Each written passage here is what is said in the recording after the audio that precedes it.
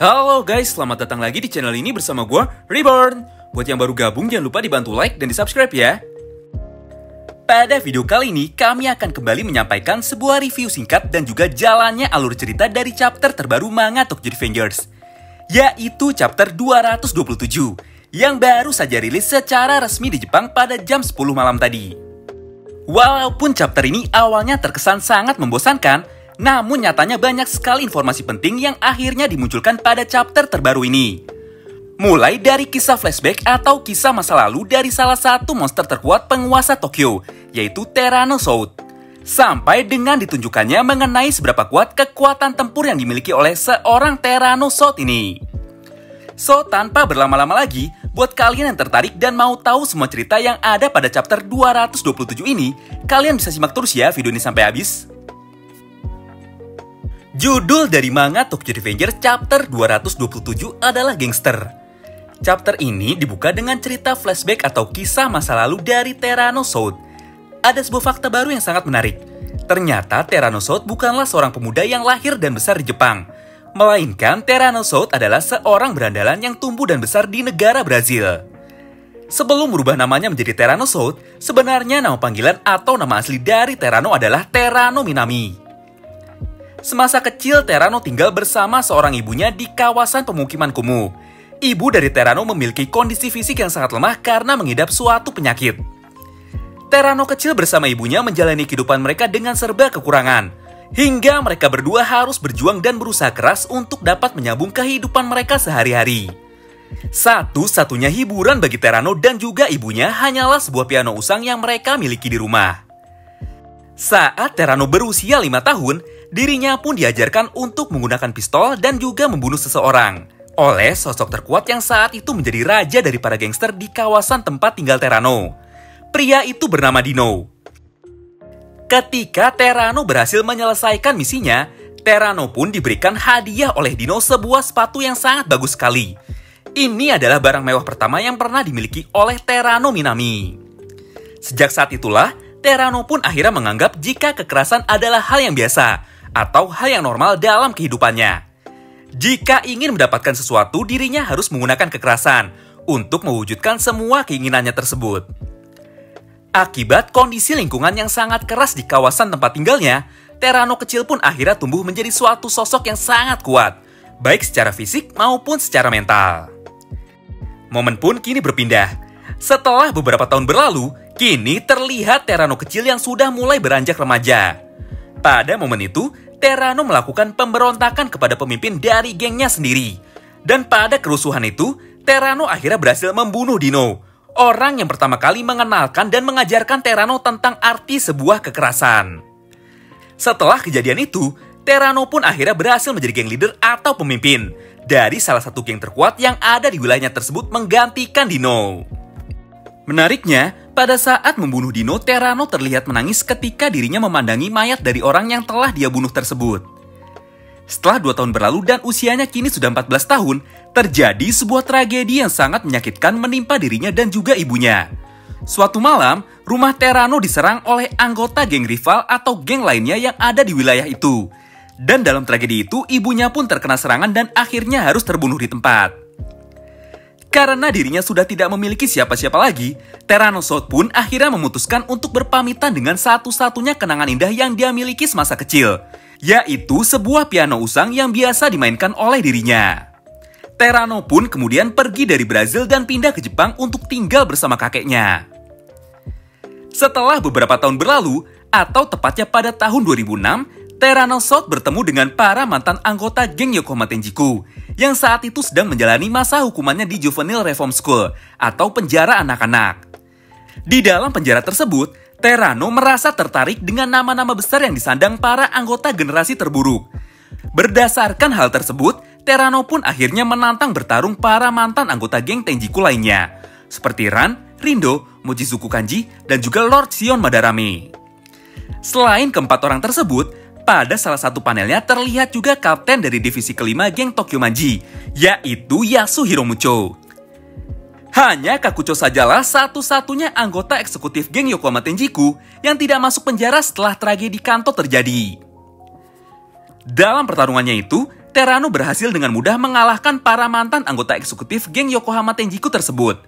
Dan akhirnya menjadikan mereka semua sebagai bawahnya. Ini adalah langkah pertama yang dilakukan oleh Terano demi bisa menjadi berandalan terkuat sekaligus berandalan nomor satu di seluruh Jepang. Dari sini kita tahu, jika ternyata Terano dan Mikey mempunyai cita-cita dan tujuan yang sama, yaitu menciptakan era baru di dunia berandalan.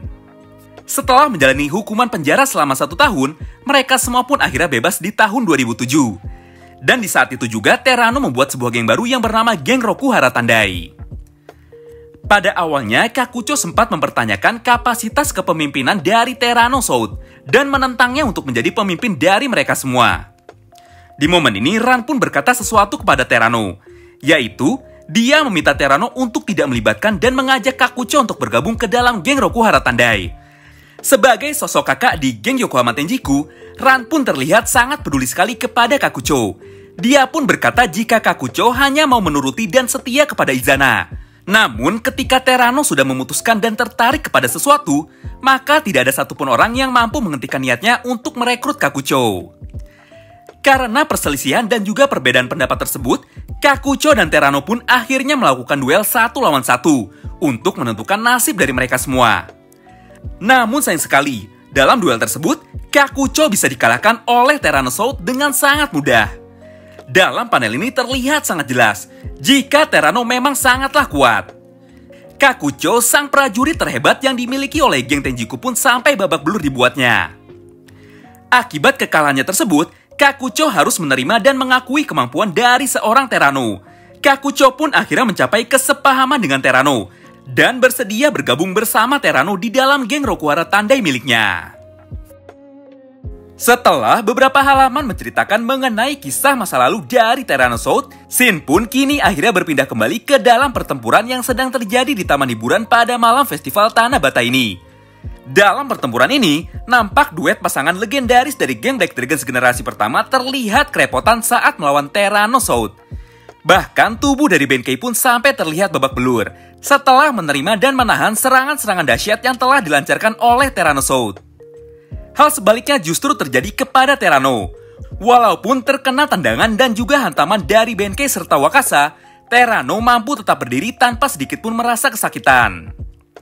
Di momen itu Terano pun berkata sesuatu kepada mereka. Apa yang terjadi kepada kalian Brahman? Apa semua serangan kalian sudah selesai?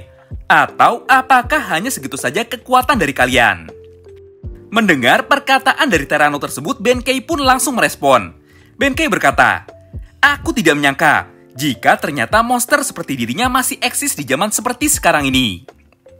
Sementara itu, dari kejauhan terlihat Kakucho yang sudah kembali berdiri lagi tanpa sedikit pun merasa kesakitan. Walaupun sebelumnya kepalanya sudah dihantam menggunakan pipa besi secara mendadak oleh Haru Chiyosanzu. Melihat para petarung legendaris dari geng Black Dragons generasi pertama kesulitan saat melawan Terano, Kakucho sebagai orang yang sudah pernah berhadapan langsung dan bertarung serius dengan Terano pun akhirnya berkata sesuatu kepada mereka. Tidak peduli seberapa kuat pasangan legendaris dari geng Black Dragons generasi pertama, mereka berdua tidak akan pernah bisa mengalahkan Terano Soud. He is man loved by violence. Atau Terano adalah orang yang sangat dicintai dan juga disukai oleh kekerasan. Wow, sebuah chapter yang cukup menarik banget ya. Dari chapter 227 ini, akhirnya beberapa pertanyaan-pertanyaan besar yang selama ini selalu membuat kita penasaran, perlahan-lahan mulai dijawab dan diungkap oleh Ken Wakui Sensei. Sekilas, kisah masa lalu dari Tyrannosaurus ini hampir mirip dengan kisah masa lalu dari Kurokawa Izana. Keduanya sama-sama hidup sebatang kara sejak kecil, dan dua-duanya hidup di lingkungan yang sangat keras sekali. Bedanya, Izana masih memiliki seorang kakak yang sangat peduli dengannya, yaitu Shinichiro Sano, dan juga orang-orang yang selalu berusaha untuk menolong dan menyelamatkannya dari kesepian, seperti Kakucho dan juga Sano Manjiro. Sedangkan Terano benar-benar harus berjuang seorang diri sejak kecil untuk terus bisa bertahan hidup. Bahkan tidak ada satupun orang yang menyangka jika Terano mulai melukai dan membunuh orang saat dirinya masih berusia lima tahun. Tidak heran jika pada chapter 211, Terano pernah berkata sesuatu kepada Draken, yaitu, yang terkuat akan tetap terus menjadi yang terkuat, bahkan ketika mereka sudah mati sekalipun. It's a dog eat dog word, atau maknanya dalam bahasa Indonesia adalah, Ini adalah dunia yang sangat keras. Yang kuat akan terus memakan dan memanfaatkan yang lemah. Dan hanya orang yang kuat saja yang mampu terus bertahan sampai akhir. Selain itu, dari chapter terbaru ini, akhirnya kita semua tahu mengenai alasan kenapa telinga Terano sangat peka sekali terhadap suara, dan juga kenapa dirinya selalu menggunakan istilah-istilah dalam musik untuk menginterpretasikan atau memberikan nama pada suara yang didengar oleh dirinya. Ternyata itu semua terjadi karena sejak kecil Terano selalu mendengar lantunan nada yang selalu dimainkan oleh ibunya. Dan juga dirinya sering berlatih memainkan sebuah piano usang yang ada di rumahnya. Setelah melihat semua cerita yang ada pada chapter 227 ini, kami pun menjadi semakin penasaran mengenai bagaimana akhir pertarungan antara Tyrannosaurus melawan Wakasa dan juga Arashi Keizo. Jelas sekali dalam hal kekuatan Terano sedikit lebih unggul, namun, kita tidak boleh meremehkan pengalaman dan juga kerjasama dari dua orang legenda penguasa wilayah Kanto. Bagaimana menurut kalian? Menarik banget bukan? Oh iya, sebelum video ini berakhir, kami mau berikan sebuah informasi yang tidak kalah menariknya. Pada hari Selasa tanggal 19 Oktober, Ken Wakui tiba-tiba saja membuat sebuah postingan pada akun Twitter resminya. Di mana pada postingan tersebut terlihat foto dari Kisaki Teta yang sedang memperlihatkan wajah liciknya sambil tersenyum. Ken Wakui pun membuat sebuah caption atau judul yang sangat menarik, yaitu Kisah yang paling banyak tertawa hari ini di acara pertunjukan komedi. Wow, melihat ini seketika kami pun sangat terkejut. Entah apa sebenarnya pesan tersirat yang ingin disampaikan oleh Ken Wakui kepada kita semua. Buat yang penasaran mengenai pembahasan lengkap dari kemunculan kembali kisah kita tersebut, nantikan terus ya update di channel ini. Terima kasih banyak yang sudah simak video ini sampai habis. Sampai jumpa lagi di video selanjutnya. Bye-bye.